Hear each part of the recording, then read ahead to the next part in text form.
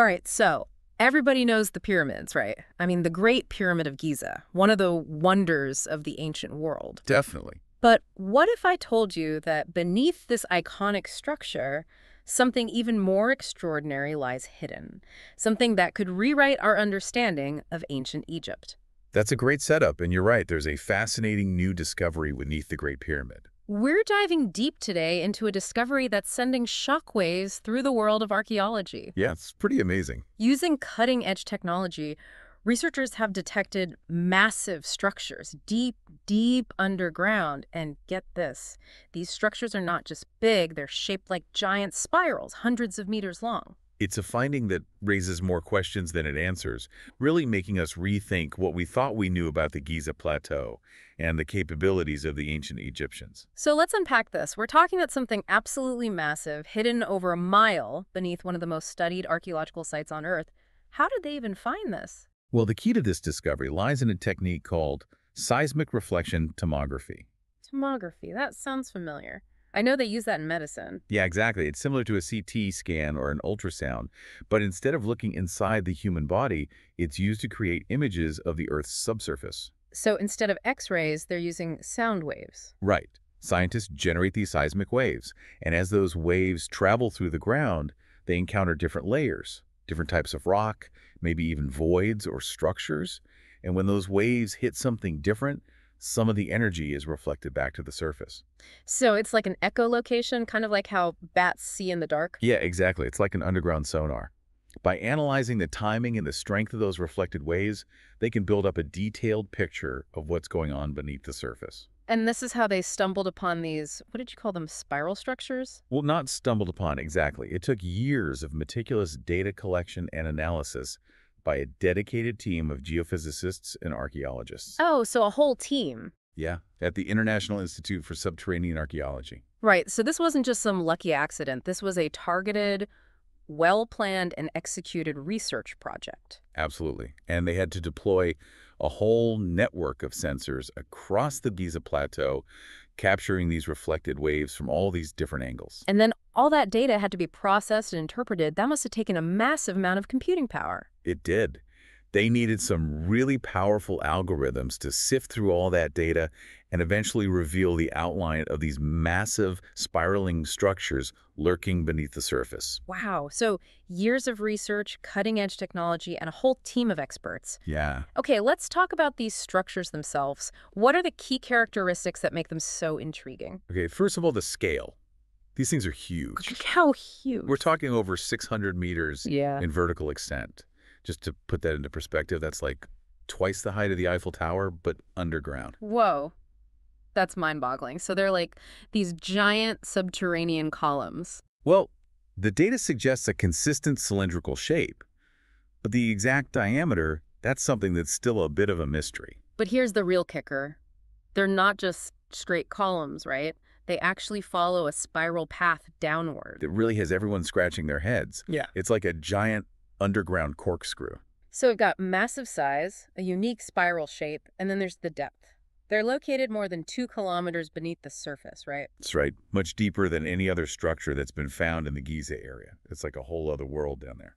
So from this seismic data, they've been able to create three-dimensional models of these structures. That must be something pretty amazing to look at. Oh, it is. It really helps you visualize just how massive and complex these things are. But I imagine with the discovery this big, there's got to be some skepticism.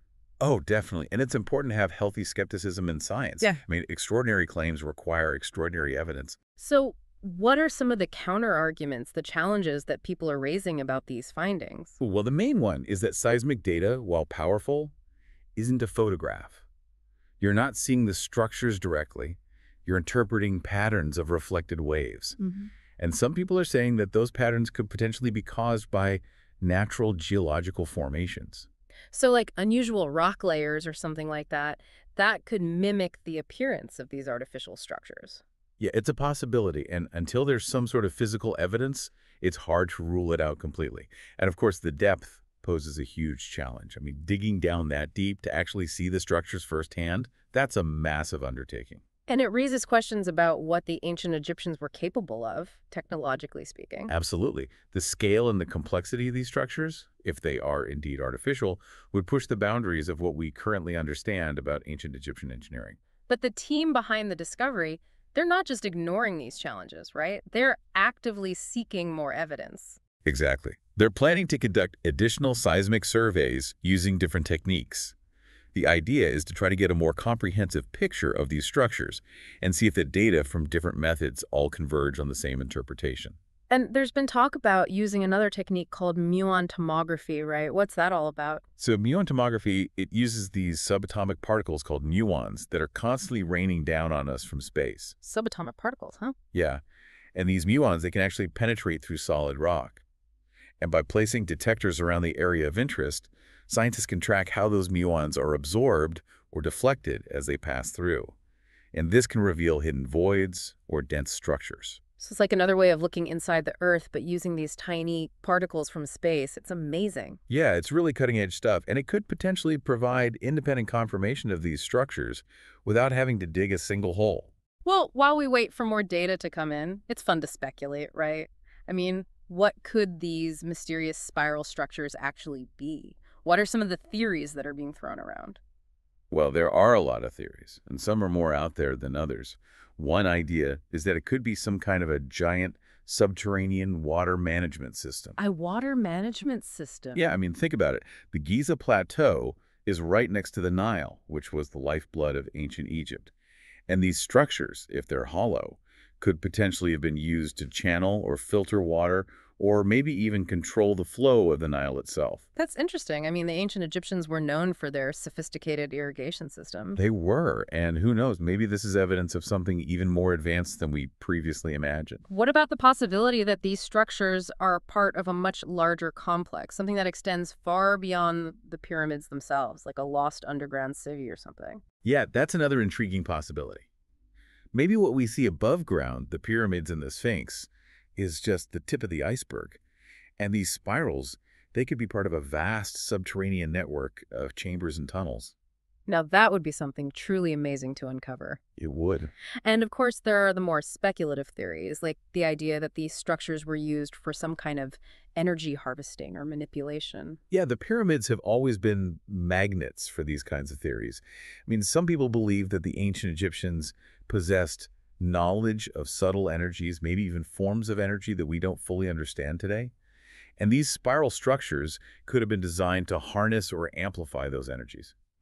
And of course, you can't talk about ancient Egypt without talking about their profound spiritual beliefs. Could these structures have served some kind of ritualistic or ceremonial purpose? Absolutely. I mean, the spiral is a powerful symbol in many cultures, often associated with cycles of life, death, and rebirth.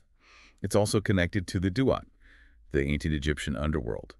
So it's not hard to imagine that these structures could have had some deep spiritual significance. And then there's the really wild card, the idea that these structures are evidence of a lost civilization, something that predates the ancient Egyptians. Yeah, that's always a possibility when you encounter something this mysterious and seemingly advanced. It's, it's definitely food for thought. It really makes you wonder, doesn't it? If these structures are indeed artificial, the engineering challenges of building them would have been absolutely staggering. I mean, excavating and constructing something on that scale at that depth, it boggles the mind. Yeah, I mean, just think about the logistics. How would they have removed all that earth?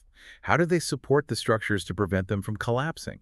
How did they provide ventilation and lighting for the workers down there? And let's not forget about the groundwater. They would have had to deal with constant flooding. It would have been an incredibly dangerous and complex undertaking. Absolutely. And it would suggest a level of engineering expertise that maybe, just maybe, surpasses what we currently give the ancient Egyptians credit for. It's really fascinating to think about. So what are the next steps in trying to solve this mystery? What needs to happen to get more definitive answers about the nature and purpose of these structures? Well, the first thing is to get more data.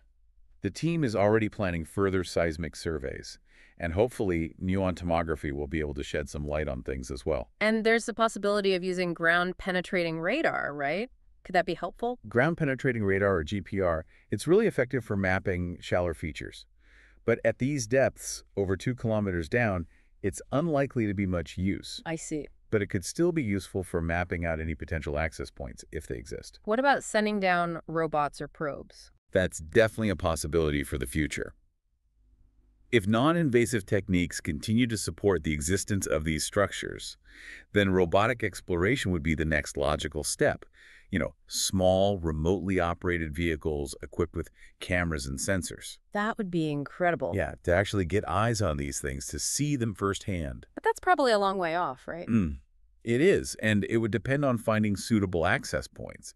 And of course, there are always ethical considerations when exploring something like this.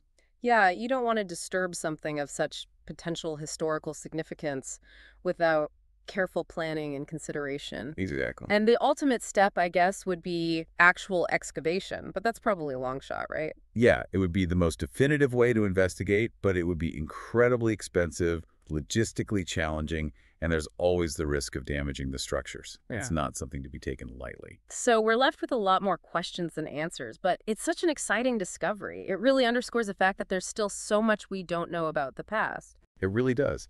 And it highlights the incredible power of modern technology.